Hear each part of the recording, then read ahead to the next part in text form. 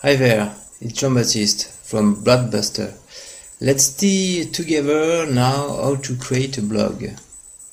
First question you have to ask yourself is why? Why you are going to create a blog?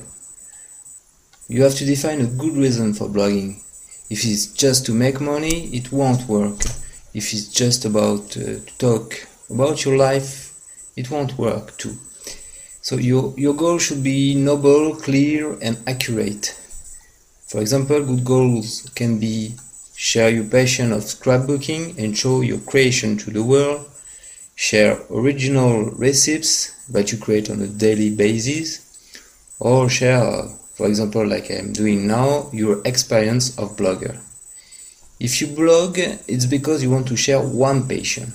You want to learn more from by yourself in sharing this passion and thanks to the comment uh, from your future audience.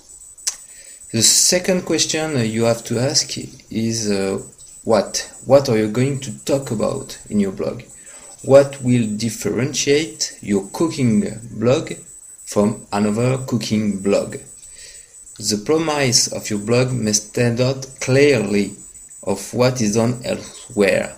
Well, it must continue to unify in the same time a large audience. If, for example, your blog is just a succession of uh, cooking uh, recipes, it won't work. You should target very specific niches. If your recipe already exists elsewhere, why I go visit your blog? So for example, if you want to make a blog about recipe, cooking recipe, uh, made a blog dedicating to cookie recipes for baby, for babies because there are millions of moms. It will interest them. A blog dedicated, for example, to Dukan's uh, cooking recipes uh, for for for ones who uh, follow uh, this diet. There are millions in France, for example, or uh, a recipe blog dedicated to food products that I have in my garden for the millions of rurals who want to hit a good product. That's, this is good niches to have something different than another cooking uh, recipe blog. The third question you have to ask is who? Uh, you have to know your audience. It's very important. It will guide you uh, about the editorial tone you choose for your blog and your articles. If you talk about scrapbooking or recipes, you know you will interested more women than men. Men will prefer subjects around new technologies and young people subjects about video games. If you go into more technical subjects, business subjects, you'll be missing out a lot of user and thus have an audience that is stuck at the specialist audience while potentially your article might also interest a wider audience. So be very careful when you choose a term.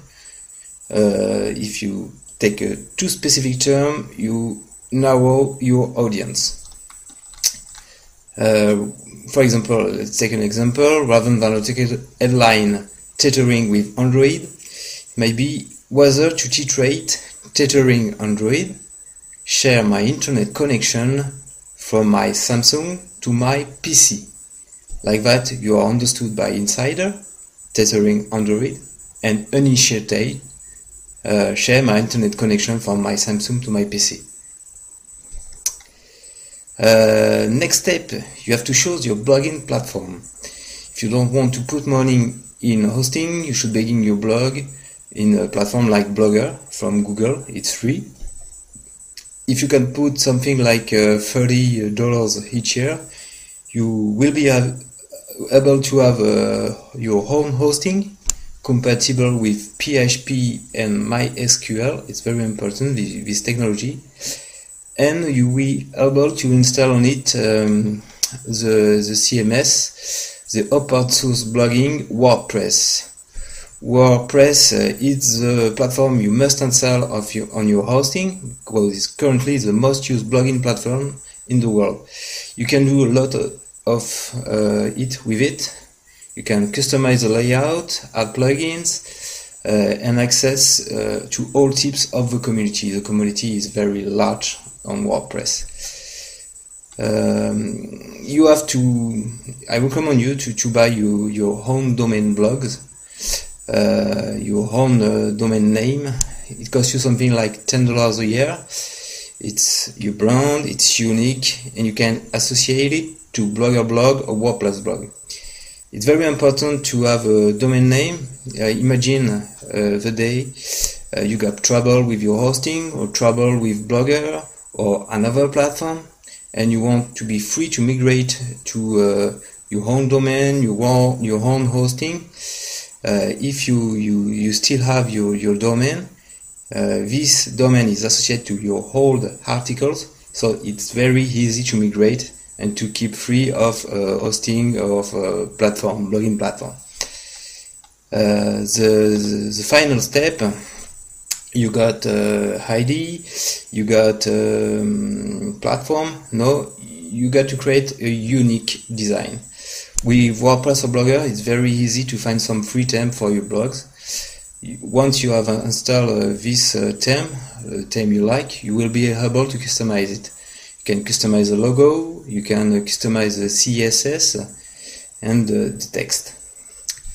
A good blog must have a great design. A logo or header made by a designer can cost you a lot of money. So your day blog will become a blockbuster. You can afford it. Uh, no, you can't afford it. So be patient before having a great design. And um, don't forget uh, to think about your design on all devices. Uh, what will look like your design on a smartphone, for example, you have to think about this. So there's opportunity to maybe install a responsive web design at the beginning. So responsive web design will adapt in each device. Uh, there's nothing to do. It's cool, but uh, it's very very hard to to find great uh, responsive web design time. Or if you don't want and focus on PC and have a, a design version for smartphone, for example, there, there's plugin like WP Touch. They, they can redirect your blog uh, to an optimized version for mobile when it's loaded from a smartphone or a mobile phone.